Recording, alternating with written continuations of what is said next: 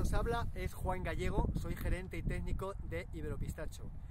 De inicio os digo, os aconsejo, os recomiendo que paséis a nuestra página iberopistacho.com, os registréis si aún no lo habéis hecho y con las claves que os va a mandar el sistema podéis acceder a la parte interna donde tenéis un universo de contenidos que hemos ido recopilando a medida que han ido pasando los años.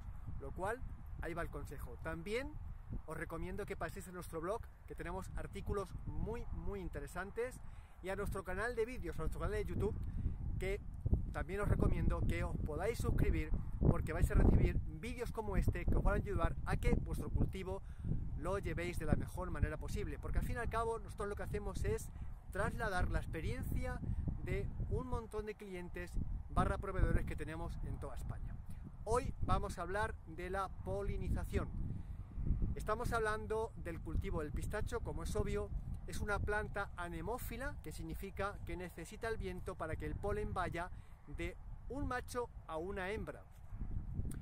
Y de esta forma llevamos el cultivo dioico. Son plantas dioicas, necesitan estos cultivos, o este cultivo en concreto, necesitan machos y hembras. Nosotros, desde Iberopistacho, recomendamos un 93% de hembras y un 7% de machos que vamos a repartir de manera estándar en la parcela y que luego en la parte perimetral donde predomina el viento en las semanas de polinización vamos a hacer más puesta de machos para que se cree una sinergia entre los machos que están en la parte perimetral donde el viento predomina y los machos que están repartidos de manera estratégica, de manera estándar en la parte interna de la parcela.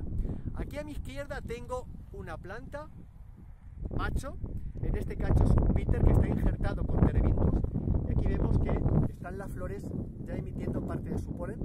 Ahora como podéis comprobar, como podéis escuchar, el viento está soplando.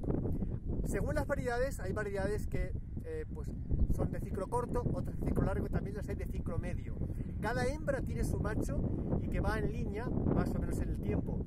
No se repite de manera exacta año tras año, pero vuelvo a repetir que cada hembra tiene su macho. En este caso, la hembra de este macho es Kerman y también Kerman está injertada con Terebintus. Como podemos comprobar, aquí es un marco amplio, tenemos un marco de 7 x 6 esto es un regadío deficitario, aunque no vemos que, eh, digamos, riego, no vemos riego por goteo, no vemos nada, es porque la goma se ha recogido, pero es una planta que en este caso se está regando desde el mes de mayo hasta el mes de septiembre. La diferencia, como podéis comprobar si miráis al fondo, entre los machos y las hembras es que las hembras son más pequeñas y los machos son más grandes, ¿vale? Los machos es cierto y verdad que su energía la centran más en hacer vegetación y las hembras tienen que dividir su energía en hacer estructura vegetal y también guardar parte de su energía para hacer fruto. Y aquí se puede comprobar pues que la distancia que hay entre machos es de dos plantas, de dos hembras, cuando ahora lo que estamos haciendo es poniendo tres. Hace unos años, no hace mucho, se ponía un macho y dos hembras y dos niños completos de hembras, ahora hacemos uno tres. Estamos, eh, digamos, metiendo más, más hembras y menos machos porque al fin y al cabo el lugar que ocupa un macho no lo ocupa una hembra. En un futuro ya no va a ser la recomendación de un macho tres hembras, sino será un macho cuatro hembras en nuestra explotación que pronto vais a ver en vídeos eh, futuros, nuestra nueva explotación que vamos a poner 57 hectáreas, ahí vamos a poner un reparto de un macho cuatro hembras. Y con el paso del tiempo pondremos menos machos, menos machos por una razón muy simple, porque cada vez hay más polen en el ambiente y eso hace que nos hagan falta menos machos y eso es igual a tener más hembras y eso es igual a tener más producción, con lo cual vamos a hacer sinergia con todo el polen nuestro y el polen de los vecinos.